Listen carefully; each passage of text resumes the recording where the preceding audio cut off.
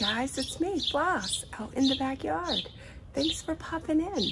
Today is my day off, so I thought I would spend a little time in the yard, out in nature, listening to those beautiful birds chirp. I was pulling some weeds, and then I decided I was gonna sit down and have a little snack of watermelon and a tall glass of water while I unboxed my Book of the Month books. Would you like to see what I got?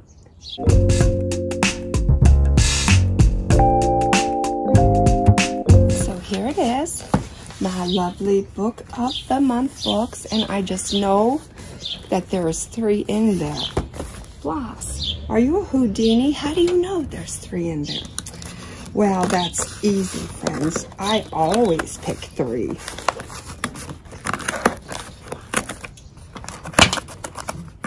Probably this was not the angle to go at it. It's all right. We got it. In about a hot minute, I'm to rip it. Ah, oh, we got it. With a little bit of dip. Oh, my goodness. well, that was not the thing to do. I ripped my book. I, I cut it. Oh, well, I'm just going to tape it. Oh, well, don't go, don't go at it from that angle, guys. Um, go from the opposite. Or, yeah, I don't know. Do they always stick it in the box the same way? I don't know. But anyways, not their fault, mine. You've got great taste. Yes, you've got great taste in ripped book cover books. That is all right. Kali Ferraro Anstine, Woman of Light. I believe this is a cowboy novel, maybe? A dazzling epic of betrayal, love. I'll show you what I see. And fate that spins five generations of an ingenious Chicano family in the American West from the author of the National Book Award finalist Sabrina and Corina book number one. Oh, I thought I ripped, I thought I ripped another one. But this is just the way that that looks. The Lies I Tell by Julie Clark. Um, she's back.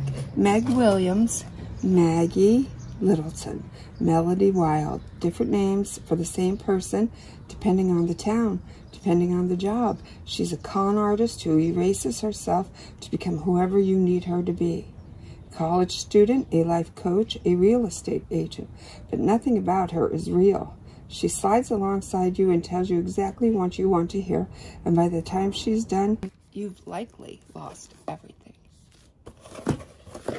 And my last book is oh, The Ministry of Utmost Happiness. Oh boy, how am I going to say that one? Aaron Arundhati? Hati Roy. Arundhati Roy. Arundhati Roy. Okay. Beautiful.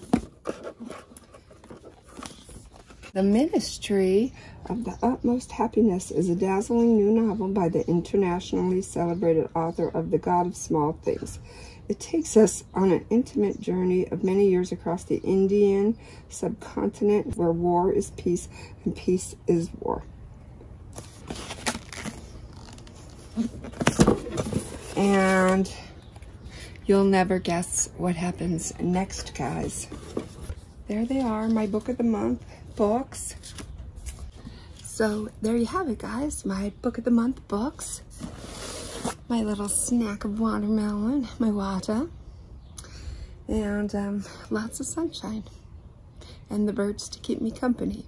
I hope your day is as beautiful as mine. Love you. We'll see you in the next video. Bye-bye.